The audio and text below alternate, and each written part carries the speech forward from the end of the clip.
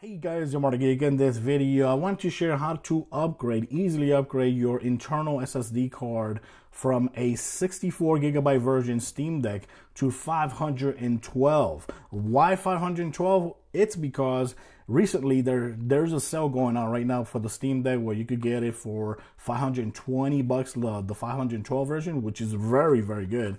But I decided to go ahead and just upgrade my 64 gigabyte version to 512. That way, it, it, you know it scratches my itch for for the bigger SSD card, right? So I decided to go ahead and get this. I it arrived like in two days on Amazon.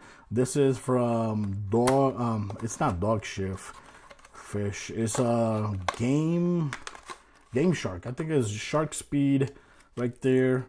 See right there. That's the SSD 2230 size and this is a 512 SSD drive. The only thing that you really need for all this process is this right here, which is going to be good to um, take the back cover off. Uh, Philip drive, the Philip drive that I'm going to be using is this size. This is a PH000. That's the proper one that you should, proper size that you should use. And of course, to flash those new software, you can either use a USB thumb drive you know, and then, you know, hook it up here and hook it up here, then continue the process like that, the installation. But I'm to do it the, for me, the easier way for me. I'm just to go ahead and do it here. I'm to go ahead and, and flash a micro SD card. Oop, I dropped it. I'm just to go ahead and flash the micro SD card with the latest software for the Steam Deck and just plug it in here and voila, that's it. All you have to do is continue the installation and that's it. That's what I'm to be doing in this video. And of course something where you can put your screws that you're to be taking off. Make sure you have something that way you don't lose your screws or you know protect it uh, carefully. Also what we're to need let me go and turn this on. What we also to need is a, your Steam Deck case. Why your Steam Deck case? Because since it has this portion right here we can actually actually use it like a workbench. So we're to use this right as our workbench for the Steam Deck. That way the Steam Deck is not slipping around. Always remember to take your micro SD card off, okay? Because if you don't take it off, a lot of people have been breaking those cards because they just uh, they forget about it and it'll just destroy your card. So make sure you actually take it off. I'm gonna be taking it off the proper way, which is by ejecting. There you go, boom, ejected. So now I'm gonna go ahead and take it out and we're going to use that later because I want to see if, if the games actually transfer back to the new um, system when I do the whole process. So you see here 64 gigabytes and it's already I already have like 5 gigabytes only left. So the upgrade is going to be huge. The other thing you want to make sure is going to turn it off completely. Turn it off. Yeah, completely. Make sure the battery life is actually around 25 percentage or lower. So we got this ready here. We're gonna go ahead and start taking these screws off. We got one, two, three, four screws, and one, two, three, four longer screws. Let's take it. Okay, of course I'm gonna go ahead and edit the video here. That way we can make it a little bit shorter. Okay, we're with the last screw right here. There you go. We are done right now. Before I start taking this back cover off, I'm going to show you guys, before I forget, how to actually prepare your micro SD card or your USB drive to then flash it when we're done here. Okay, so what we want to do, we want to go to the Steam Deck recovery instruction website. You got the Rufus utility there we're going to use. And here, this is where you click right there. You're going to go ahead and hit approve. Download SteamOS disk image.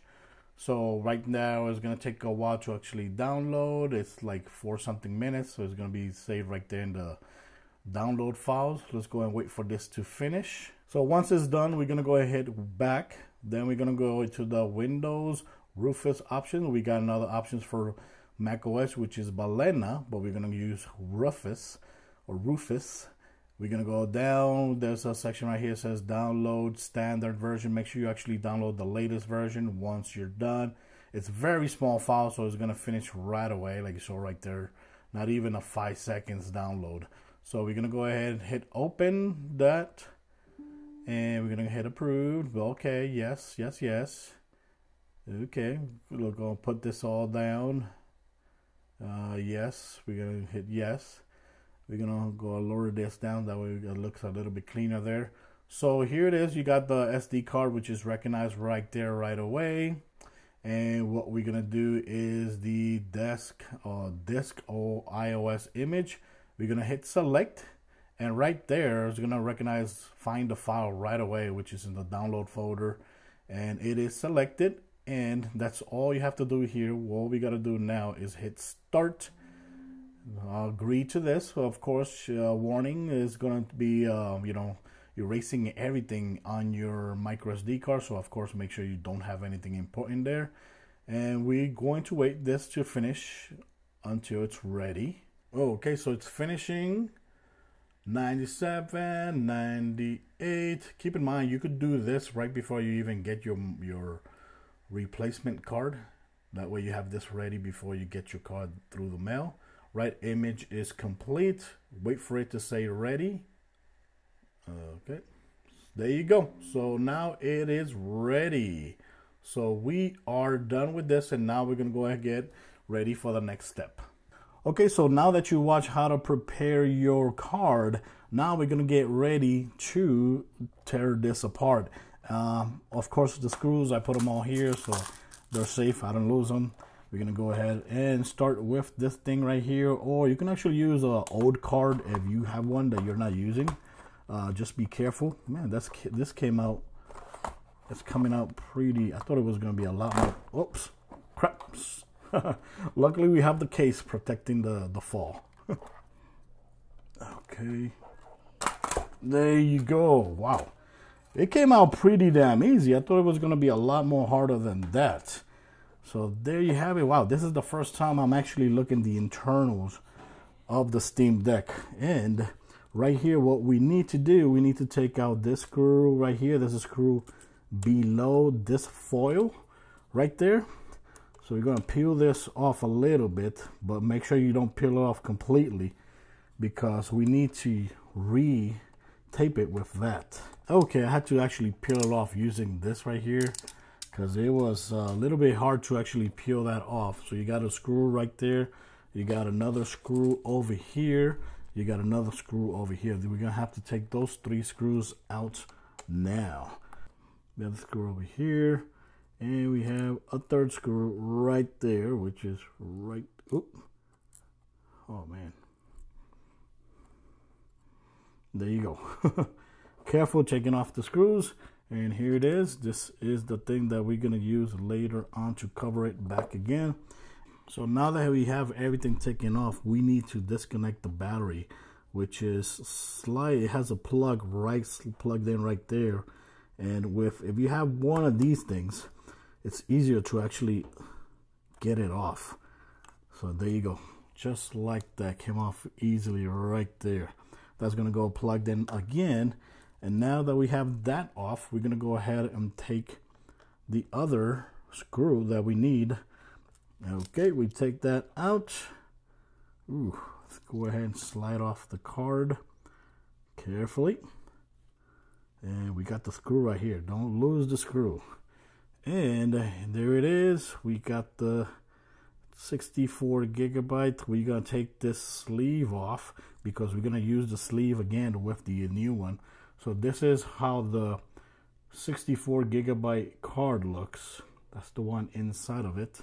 And we're to go ahead and replace it with the new one which is over here.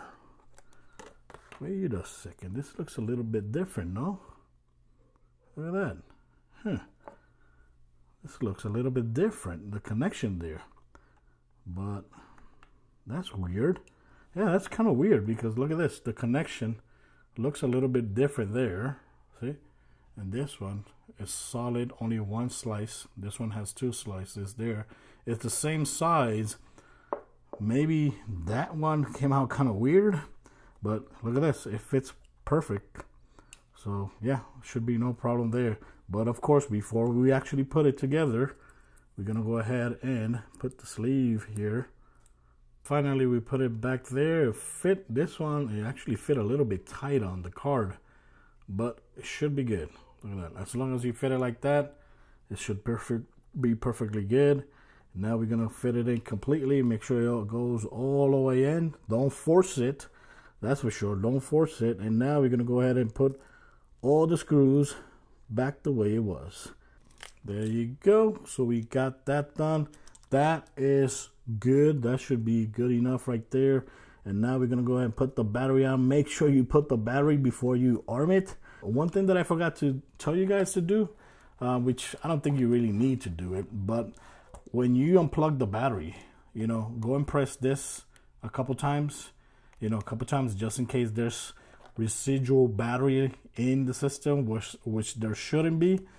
And that's it. I forgot to do that, but that's something that people been doing with the Steam Deck. I've been working doing this with laptops and all that, and I don't remember ever having to do that. So yeah, but we did it now. So we're gonna go ahead and put it together here. Make sure this actually goes in completely. Okay, battery is in. Now we're gonna go ahead and put all this back the way it was. There you go. It looks kind of scary, but it's not. Believe me, guys, it's very, very easy to do.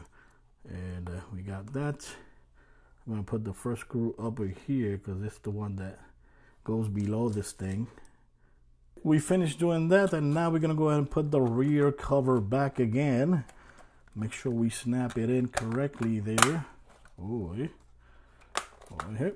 Shouldn't have no problems. There you go nothing shaking in the inside so we're we're all good. And uh, start doing the same thing all over again. Put back. Remember to put the long long screws where you took them out from. Long screws on the outer side short screws in the inside. I'm surprised how easy this was. I'm surprised how easy this really really was. And take this out and we have it done. So let's go ahead and start with the installation. We flash the software here to this card. So we're gonna plug it in there. But of course if you use a USB-C if you use one of these thumb drive you put it in one of these connectors you can also hook it up there. But this is how I'm, I'm gonna do it okay so right now we're gonna go ahead and press the down button and the power button until we hear a little sound. There you go. Release. Leave this on. These pressed. Let's see. We need to see the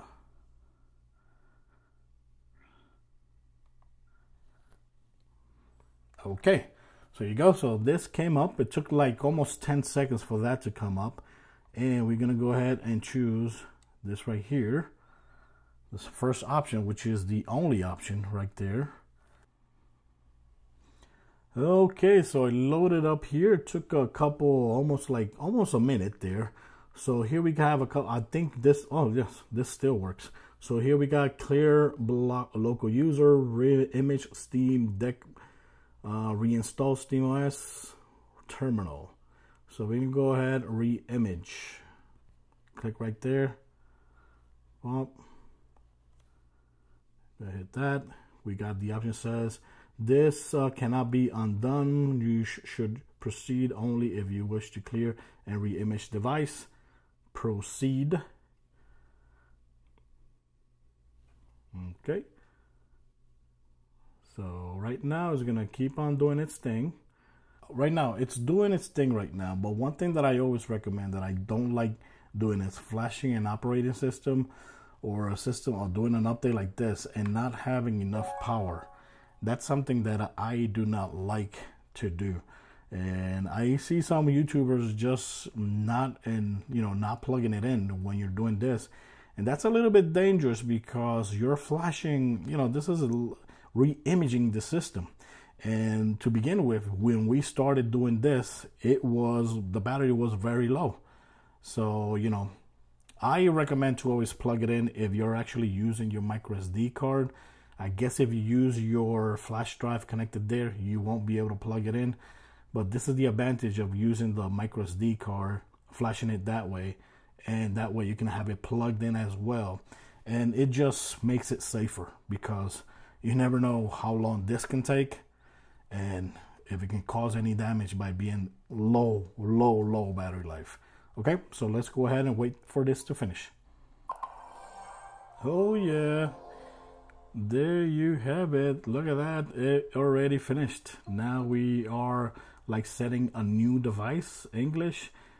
That didn't take long at all. We got Mountain Time, which I live here, and I'm gonna go and choose my email, install again, everything. Finally, it finished installing the operating system or re-imaging it. We already did the SSD drive, so everything should be good now. It took a while to actually install um, all the updates because uh, once I started installing it, right, I was so starving. I went to eat, left it charging and installing. When I came back, it was still locked at, it was stuck at the installation. So what I did, because that's not normal, that's too long. I went back again where you choose your language, then you choose your location, and you choose your Wi-Fi. I re-entered my Wi-Fi. I started again, and then it finished. It took like almost like 20 minutes after I did that. So here we are with the thing loaded up. Let's go and get out of here just like you would a new one. So here, let's go ahead to settings. Dun, dun, dun. Let's go to storage. Oh, look at that. 460 gigabytes free. So you don't really get the full 512. We already knew that. Um, I'm going to go ahead and plug in my normal SSD drive that was here, which is a 512. See what happens. Okay, we got that there. We can see the games here. Okay, that's good. Now, can we actually load them? I wonder if we can actually load them. So let me go ahead and see. This game, can I load it up? Okay, says yes. So there you go. So it's downloading content. But yes, I guess you can reload the games from the card, even though you're basically re-imaging the whole system. Like you see that is downloading the content. This content usually goes to the internal SSD. And so since it's not there, it's installing it again. Like it was like you're downloading the game for the first time ever. So that's why it's actually taking a while. Look at that. See, it's still installing stuff. There you go. You're gonna get that screen. There you go. Look at that. Temtem. Temtem loading. So that's good. So we got that that's loading. Look at that. It's already ready to play. That's awesome. Let's go ahead and quit that. Let's go and quit that. The other thing that I wanted to see also, of course, we can we have an update we have to do here. And okay, we can also see it's already installing things in the internal. So we can also move, like if I want to move, uh, let's say I want to move uh, Hi-Fi Rush, move content, Y, and I can move it to the internal, move. So yeah, you can also move your games from the microSD card to the internal. The cool thing is that yes, you can still use the card even after re-imaging the system the games are still going to be in the card and you will be able to still play those games. You don't have to download the whole thing. It's going to download some the extra stuff that it needs like the shaders and all that. That's normal. That's like happens to every game you install here on this device. Other than that i can't complain. Let me know in the comments of course what you think about this process. Thanks for watching this video. Let me know in the comments what you think about it. Till next time guys. Bye bye